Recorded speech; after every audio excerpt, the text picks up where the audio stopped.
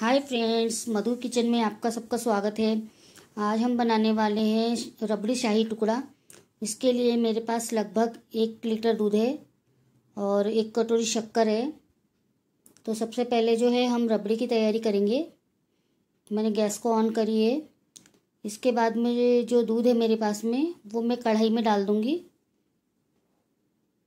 क्योंकि हम पहले रबड़ी की तैयारी कर रहे हैं।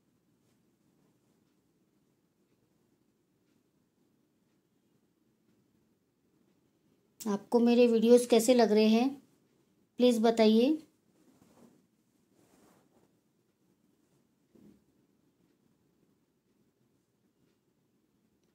दूध को हम पहले, सबसे पहले हाई फ्लेम पे रखेंगे, ताकि दूध में उबाली आ जाए। बाद में उसको धीरे धीरे लो फ्लेम पे कर देंगे, ताकि हमारा दूध जो है वो जले नहीं।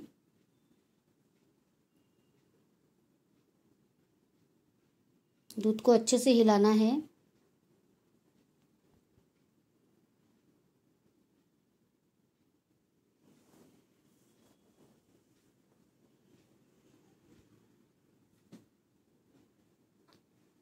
देखिए दूध में उबाली आना शुरू हो गई है।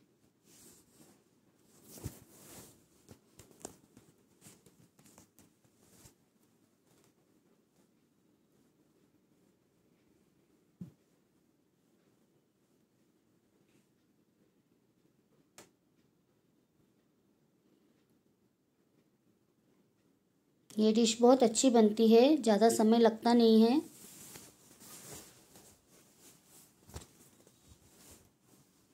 देखिए, दूध में मलाई आना शुरू हो गई है।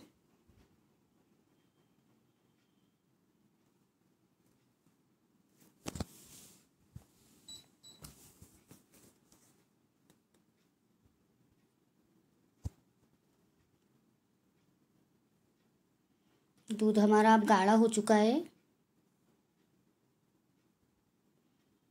दूध गाढ़ा होने के बाद ही हम इसमें चीनी ऐड करेंगे। अब मैं इसमें चीनी डाल रही हूँ।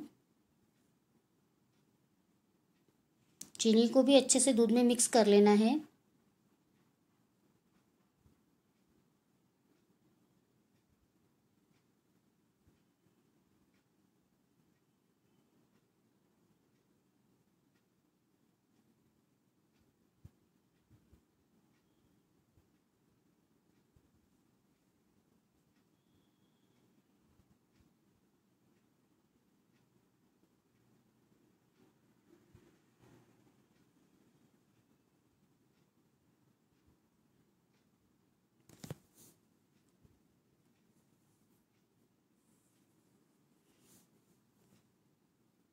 हमारी रबड़ी जो है वो तैयार हो गई है।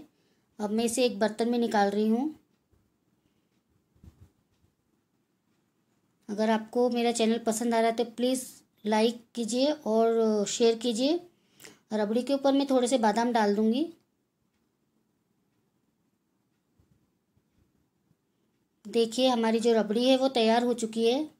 आप भी इस तरह से बनाइए। इसे फ्रिज में रख के ठंडी ठंडी सर्व कीजिए। अब अब हम करेंगे शाही टुकड़े की तैयारी। रबड़ी हमारी बन चुकी है, टुकड़े की तैयारी करनी है। तो इसमें लगने वाला जो सामान है, वो मैं आपको पहले बताऊँगी। रबड़ी जो मैंने ऑलरेडी तैयार करके रख ली थी। ब्रेड, उसके मैंने स्लाइस करे हुए छोटे छोटे और तलने के लिए घी और थोड़े से बादाम, जो मैंने बारीक कट कर लिए है। अभी मैं गैस ऑन कर रही हूँ। गैस के ऊपर एक पैन रखा है मैंने। पैन के अंदर मैं घी डाल रही हूँ। आप चाहे तो तेल, बटर, कुछ भी यूज़ कर सकते हैं।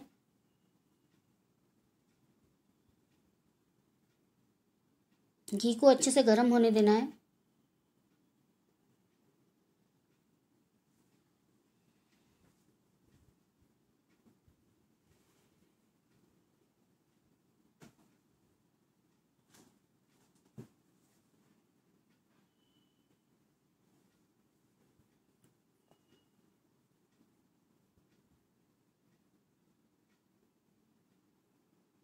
घी गर्म होने के बाद हम इसमें ब्रेड के टुकड़े डाल देंगे।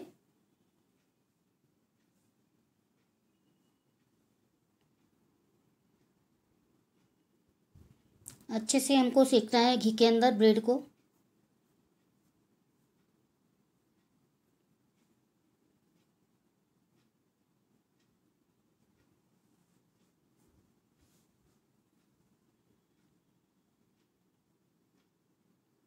अब हमने पलट के देखा कि वो एक तरफ़ से अच्छे से सीख गए तो दोनों साइड से सीखना है, इसलिए दूसरी तरफ़ भी पलट दे।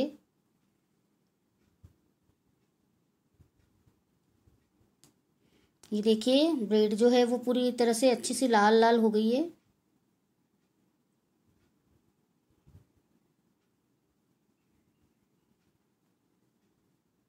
इसके बाद जो है वो ब्रेड मैंने प्लेट में निकाल ली है। अब एक एक करके मैं ब्रेड को सजा रही हूँ।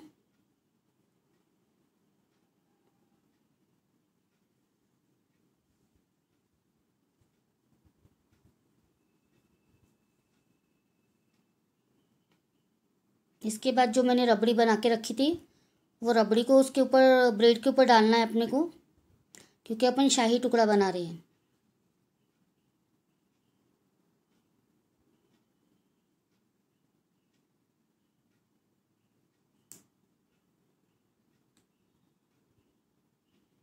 ये खाने में मिठाई बहुत अच्छी लगती है। आप लोग भी ट्राई कीजिए प्लीज़ बना के। इसके ऊपर मैं थोड़े से बादाम के जो टुकड़े किए थे, मैंने वो रख दिए।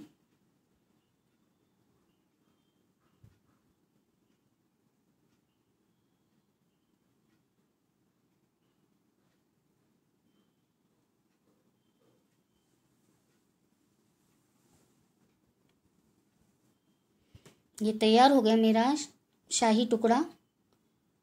आप मेरे चैनल को प्लीज़ सब्सक्राइब कीजिए।